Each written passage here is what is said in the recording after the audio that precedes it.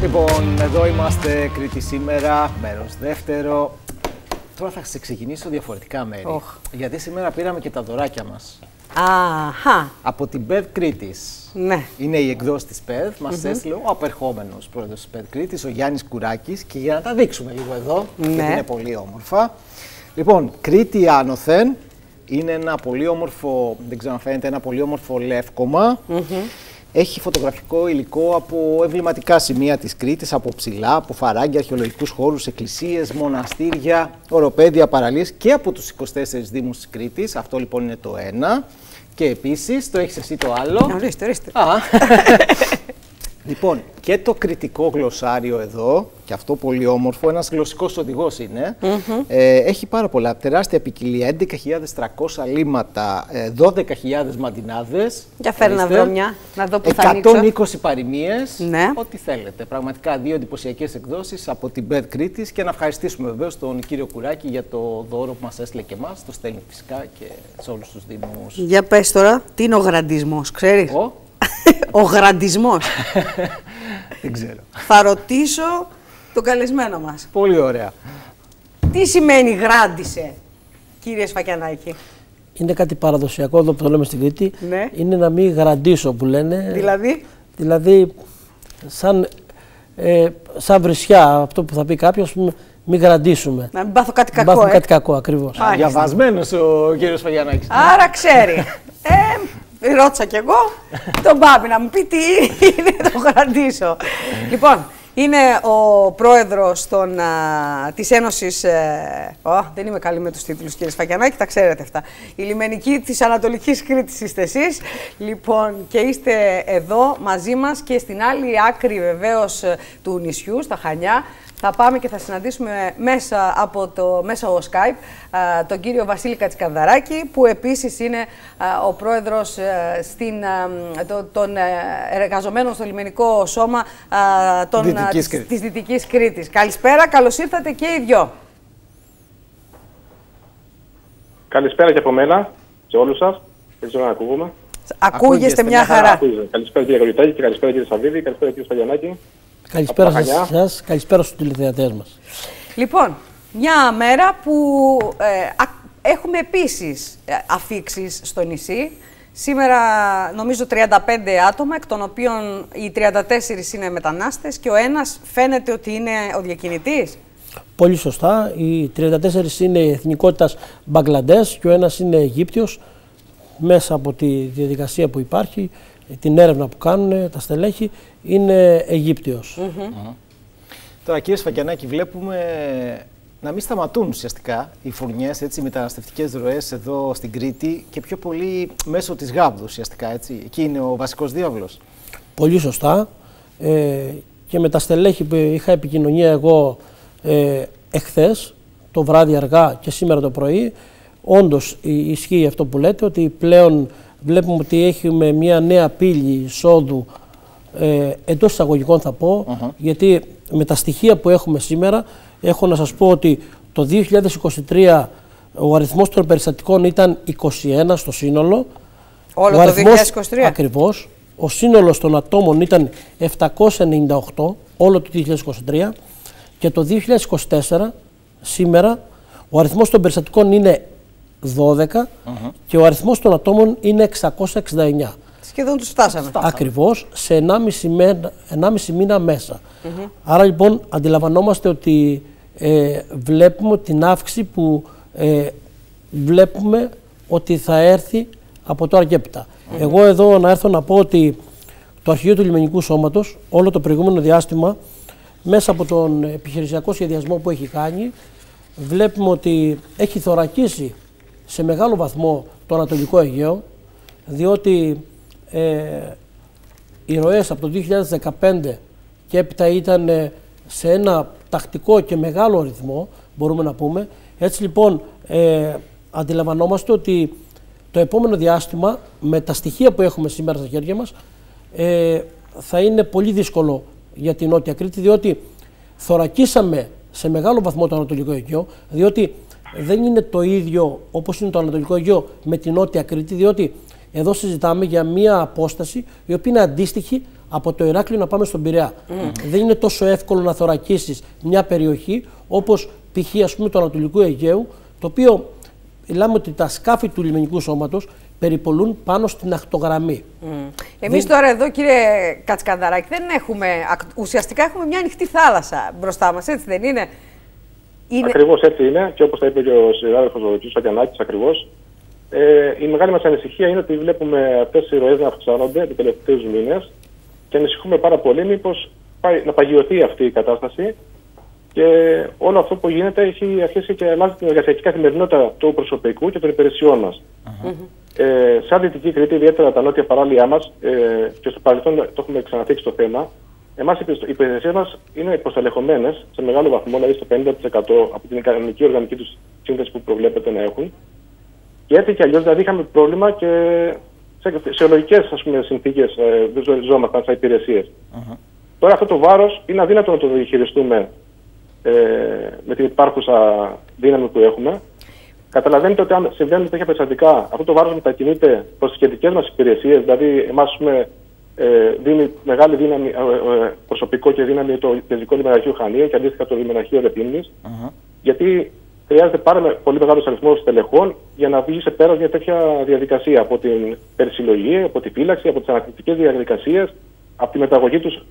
Πάμε εμείς στην Αθήνα, δηλαδή στο, σε κάποια κιτ, και έτσι πραγματικά αυτό το βάρος ε, είναι πολύ μεγάλο και θέλουμε οπωσδήποτε να πάρθουν μέτρα ουσιαστικά από τη διοίκησή μας.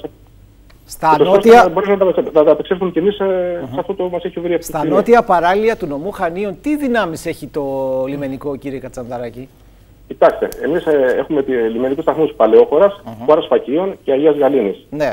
Οι οποίες είναι στο 50% και τρεις υπηρεσίες ίσα ίσα είναι μια βάρια βγαίνει. Ναι. Δηλαδή ένα άτομο μια βάρια δεν έχει προσωπικό να διαχειριστεί αυτές τις καταστάσεις. Γι' αυτό σας είπα ότι το μεγάλο βάρος το παίρνουν μετά και δική μας υπηρεσία. Έχουμε ένα πλωτό στην παλαιόχώρα που είναι 30 ετών, ε, ότι αυτός συνεπάγεται. Ένα αντίστοιχο πλωτό έχουμε στην Αγία Γαλήνη, το οποίο αυτό το πλωτό της Αγία Γαλήνης λόγω της ε, γεωγραφικής του θέση που είναι ε, εκεί πέρα, ε, επιχειρεί και προς ανατολικά και προς δυτικά και προς το ανοιχτό πέλαγος. Δηλαδή έχει βαρεθεί πάρα πολύ έχει πάρει το μεγαλύτερο βάρος, δηλαδή, μπορώ να πω. Uh-huh. Τα πληρώματα, όπως έχουμε ξαναπεί, είναι μονά. Δηλαδή, αυτό σημαίνει, για να καταλαβαίνει και ο κόσμος, τι λέμε μονά πληρώματα, τι πάει να πει αυτό, ότι είναι yeah. Ναι. αντικαταστάτες. Άρα, καλούνται όταν επιχειρούν σε ένα περιστατικό, που το περιστατικό μπορεί να έρθει σε οποιαδήποτε ώρα, να βγουν έξω και μπορεί να περάσουν 10 ώρες, 15 ώρες μέχρι να γυρίσουν πίσω, να φέρουν σε πέρα στην αποστολή τους. Και όπως είχαμε πριν μερικές μέρες, 2-3 αντεπάλληλα κρούσματα, ε, αναγκαστικά το ίδιο προσωπικό πρέπει να, να βγει έξω να διαχειριστεί και το επόμενο περιστατικό. Με μεγάλη ε, καταπώνηση, ψυχική, σωματική, υπεργασία και όλα αυτά. Οπότε δεν μπορούν να το απεξέλθουν αν δεν ενισχυθούν αυτά τα πλουτά. Mm-hmm. Ε, πριν μερικές μέρες όμως μπορώ να πω ότι κατέβηκε ένα άλλο σκάφος, ενισχύθηκε η Αγιαγανίνη πολύ σωστά όπως ε, έπρεπε να γίνει. Μάλλον ένα πλωτό που κατέβηκε από το Ηράκλειο. Το Περιμένουμε να δούμε και, ναι, ήταν όμως ε, εκτάκτος, θέλω να πω.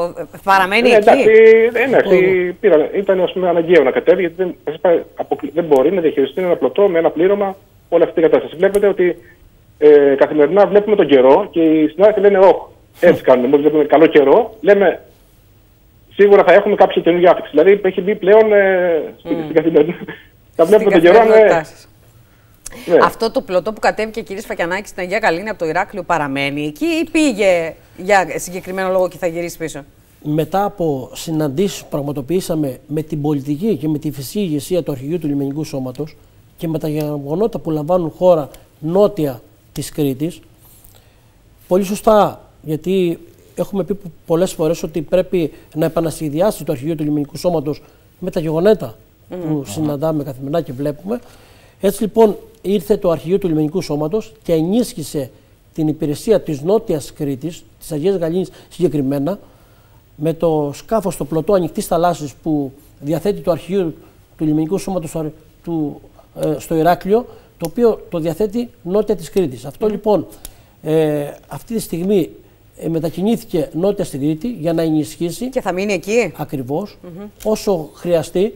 Από ό,τι μας έχουν ενημερώσει και εμάς ε, η πολιτική και η φυσική ηγεσία, περισσότερο η φυσική μας ηγεσία σε συνάντηση που είχαμε και έτσι λοιπόν ε, θα συνδράμει σε όλες αυτές τις επιχειρήσεις που θα λαμβάνουν χώρα όλο το επόμενο διάστημα. Κύριε Σφακιανάκη, ε, και επιτήρηση δεν θα, θα μπορούσε να γίνει και από αέρος με κάποια απτυτικά μέσα έτσι να λειτουργήσουν και επικουρικά και προς τις λιμενικές ε, δυνάμεις που, είναι, που θα είναι στη θάλασσα; Από τις πληροφορίες που έχω ότι όντως ε, αυτή τη στιγμή επιχειρούν και ένα αέρια μέσα. Α, επιχειρούν. Ακριβώς. Σε συνεργασία με τη Frontex πάντα. Και ευελπιστούμε ότι όσο μπορούμε να πατάξουμε αυτό το γεγονός.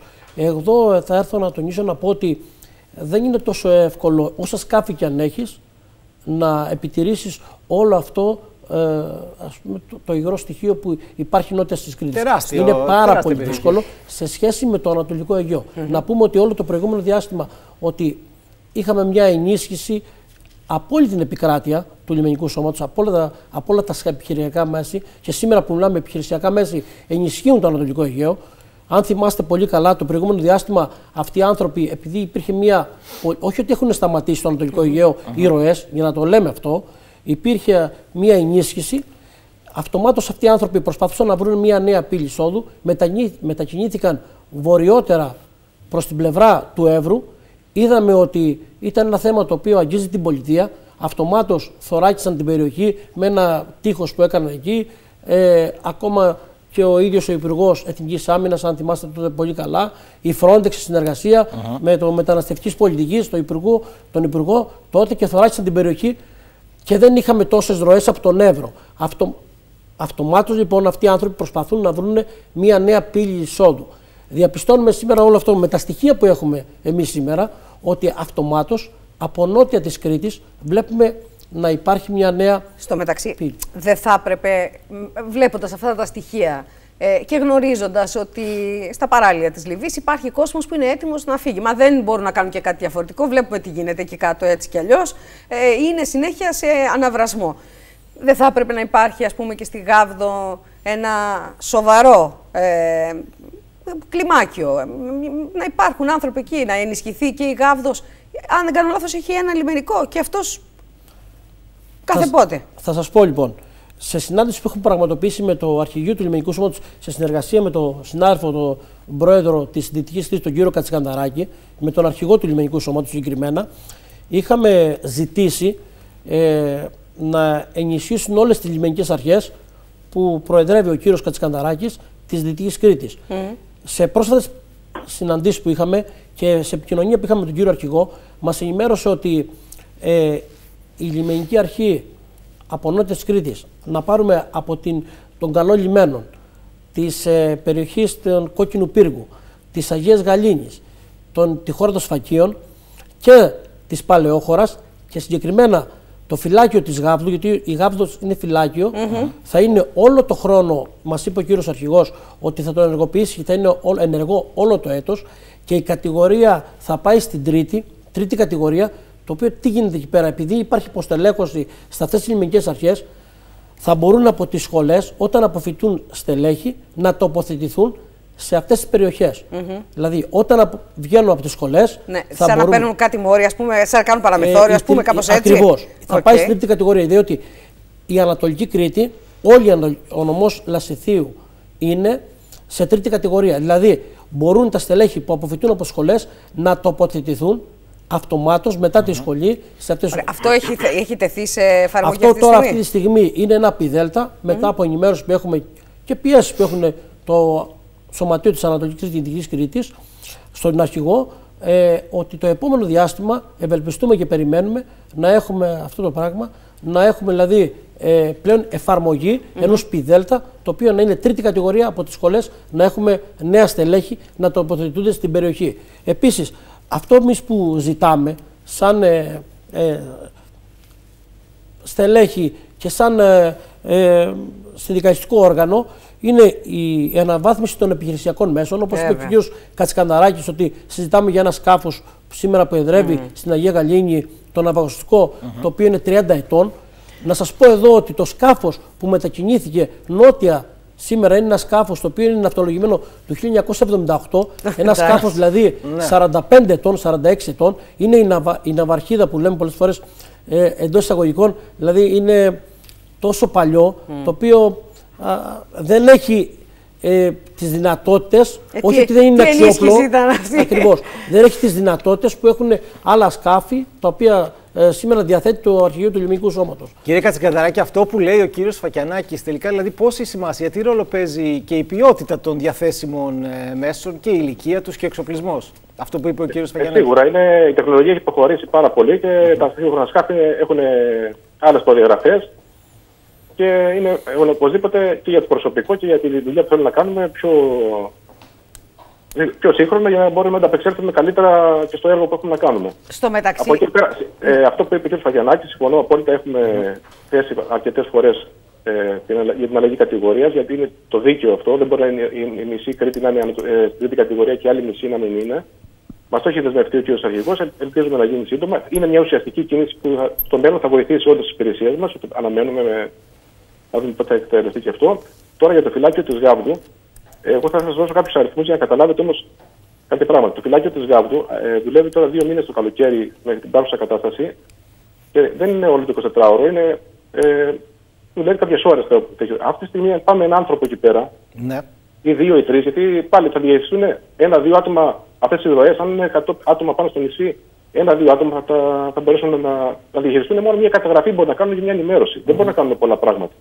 Δεύτερον, από πού θα πάνε αυτοί, αυτά τα άτομα; Αυτή τη στιγμή μιλάμε, εμείς δεν έχουμε, ε, έχουμε μεγάλο πρόβλημα σε υπάρχουσες ε, θέσεις που έχουμε. Mm. Το κεντρικό λιμεναρχείο, ας πω αριθμητικά, και αυτό έχει 15 άτομα μείον ε, οργανική του.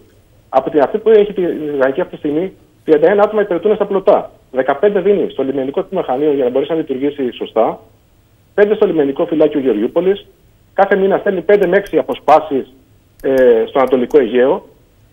Ε, αν βάλετε κάποιες άδειες κάποιες άδειες ανατροπής, έχω γύρω στα 65 άτομα μείον. Mm-hmm. Άρα πρέπει να κοιταζόμαστε μεταξύ μας ποιος θα πάει στη Γάβδο. Yeah. Πρέπει δηλαδή να, να, να, αν ανοίξει, να δοθεί η δυνατότητα να έρθουν και από άλλα μέρη. Όπως εμείς στέλνουμε τόσα χρόνια και στο Ανατολικό Αιγαίο και να στέλνουμε, δεν είπαμε να αλλάξει κάτι, αλλά και εμείς τώρα που καίγεται το σπίτι μας και εμείς θέλουμε μια βοήθεια και παραπάνω. Mm-hmm. Γιατί θα υπάρχει πρόβλημα ποιος θα πάει στη Γάβδο. Πρέπει να δούμε και τις προποθέσει. Να ανοίξει, ναι, να ανοίξει, δεν είπαμε να μην ανοίξει, αλλά να δούμε με ποιες προποθέσει θα ανοίξει το φυλάκι. Τώρα... Δεν υπάρχουν. Ναι, τώρα βεβαίως ε, η συζήτηση περιστρέφεται αυτή τη στιγμή γύρω από το κομμάτι του μεταναστευτικού με δεδομένο ότι έχουμε αυξημένες ροές. Ναι, Όμως δεν είναι και, μόνο. Αν πάρουμε τώρα ότι είμαστε, συγγνώμη, στην καρδιά του χειμώνα και mm. έχουμε αυτές τις ροές, δηλαδή τι θα γίνει μόλις ανοίξει ο καιρός τελείως, ε, άνοιξε καλοκαίρι. Και την ίδια και ώρα βεβαίως είμαστε και τον πολύ. Τον τουρισμό που περιμένουμε, mm. ε, φέτο πάλι αύξηση του τουρισμού και έχουμε. Τι θα γίνει, εμείς ανησυχούμε πάρα πολύ γι' αυτό Όπως είπε ο κ. Φαγιανάκη, όντως ε, ε, εγκαίρως έχουμε ενημερώσει την ηγεσία μας αρκετές φορές με υπομνήματα ε, είναι απόλυτα ενήμεροι και, πιο, και γνωρίζουν και πιο καλά και από εμάς. Μα εδώ και, ε, συγγνώμη σας διακόπτω, εδώ και ο αρμόδιος υπουργός, ο κ. Κερίδης, είχε πει και σε δηλώσεις στη Βουλή ότι το έχει δει και ότι υπάρχει μια ανησυχητική αύξηση. Το, είναι νομίζω η λέξη που χρησιμοποιήσει και ο υπουργός. Ναι, και πέρα από αυτό βεβαίως υπάρχει και το ζήτημα των γηγενών, των ντόπιων. Είμαστε εδώ. Δηλαδή οι άνθρωποι που ζουν στα νότια παράλια δεν πρέπει να έχουν εμπεδομένο και αυτή το αίσθημα της ασφάλειας. Αν συμβεί κάτι στη θάλασσα, γιατί έχουμε ψαράδες, έχουμε ανθρώπους που είναι κάτω στο νότιο, στο νότιο Κρητικό και ψαρεύουν και είναι εκεί ή ζουν στην Αγία Μέλη για παράδειγμα. Δεν πρέπει να έχουν και αυτοί άμεση ε, πρόσβαση σε κάποιο νοσοκομείο. Με ποιο, με ποιο, ε, με ποιο μέσο θα μπορούσε να γίνει αυτό. Δηλαδή αν έχει φύγει της Παλαιόχωρας για παράδειγμα να κάνει μια αναγνώριση, μια διάσωση ας πούμε. Μα το καλοκαίρι έχουμε που είναι και πολύ κόσμο στο, πάνω στη Γάβδο, έχουμε αρκετές διακομιδές. Μία-δύο φορές την εβδομάδα πάει το σκάφος της Παλαιόχώρα ή της Παγία Γαλήνης για διακομιδές από λόγω ασθένειας, λόγω τραυματισμού. Ακριβώς. Λοιπόν, Ακριβώς. Ε, είναι θέμα ασφάλειας δηλαδή... για όλο τον κόσμο. Δεν είναι μόνο για τους μετανάστες, είναι για όλους μας. Ακριβώς. Μα σας είπα, θα αλλάζει η αρχική καθημερινότητά μας και οι υπηρεσίες μας θα αλλάξουν. Ε, αν θα δώσουμε εκεί όλη μας την έμφαση, uh-huh. καταλαβαίνετε, θα μείνουν κάποια άλλα πράγματα πίσω. Που είναι προς τον πολίτη, βέβαια, η ασφάλεια, όλα αυτά που λέτε. Uh-huh. Δεν και κύριε, διαφορετικά. Κύριε Σφακιανάκη, την ίδια ώρα το λιμενικό και εδώ στην Κρήτη έχει και πάρα πολλές αρμοδιότητες και, και, στο ελεκτικό κομμάτι και στη στεριά και στα μαγαζιά έτσι και περιπολίε πολλές. Δηλαδή είναι μεγάλες οι αρμοδιότητες και λίγα τα άτομα. Η αλήθεια είναι ότι εμείς στι τοποθετήσει μα που έχουμε κάνει, ε, εγώ θα πω την εξής λέξη επανασχεδιασμός. Mm. Με τα γεγονότα που λαμβάνουν χώρα το τελευταίο διάστημα νότια της Κρήτης ιδιαίτερα, νομίζω ότι πρέπει να καθίσουν όλοι μαζί σε ένα τραπέζι, να επανασχεδιάσουν και να δούνε πώς από τώρα και έπειτα θα δράσουν. Θέλει ένα σχέδιο δράσης καινούριο για να δουν πώς ε, θα αντιμετωπίσουν όλη αυτή την κατάσταση που τις προηγούμενες μέρες είδαμε ότι υπήρχε ε, μια κακοκαιρία και δεν είχαμε περιστατικά. Μόλις έπεσε ο καιρός λιγάκι, να το πούμε έτσι λαϊκά, αυτομάτως είδαμε σήμερα ότι έχουμε αυτομάτως, αμέσως ένα περιστατικό. Εμείς αυτό που θέλουμε να πούμε, ότι και σαν θέτηση γαλλικό στο όργανο, ότι πρέπει να έχουμε μια αύξηση οργανικών θέσεων γενικότερα σε όλο το νησί της Κρήτης, γιατί με το λιμενικό καλλικράτη το τελευταίο διάστημα που είδαμε, το 2009. Είχαμε και λιμενικό καλλικράτη. Ναι, ναι, σωστό και αυτό. όχι μόνο αυτό διοικητικό. Ναι. Το 2009 ε, η Νότια Κρήτη α, ε, ήρθε και ε, σταμάτησε τη λειτουργία του λιμενικού σταθμού στο Καστρί. Έχουμε λοιπόν μία απόσταση από το λιμεναρχείο της Ιεράπετρας μέχρι το λιμενικό σταθμό Καλό Λιμένων γύρω στα 70 ναυτικά μίλια, το οποίο δεν διαθέτει ένα σταθμό ενδιάμεσα. Εμείς λοιπόν αυτό που ζητάμε σαν συνδικαλιστικό όργανο, ξανά να πω, ότι πρέπει να επαναλειτουργήσει ο λιμενικός σταθμός στο Καστρί να μπορεί άμεσα, όχι ότι δεν υπάρχει σήμερα φύλαξη, υπάρχει φύλαξη, θέλω να υπάρχει ένα αίσθημα ε, ασφάλειας από τους ε, πολίτες, όμως εμείς πρέπει με όλα αυτά που συμβαίνουν σήμερα, πρέπει, όπως έχω πει πολλές φορές, ότι η καλύτερη καταστολή είναι η πρόληψη. Προλαμβάνοντας κάτι, εμείς πρέπει αυτό το πράγμα να το ενισχύσουμε στην πρόληψη και όχι καταστολή. Η καλύτερη καταστολή είναι η πρόληψη.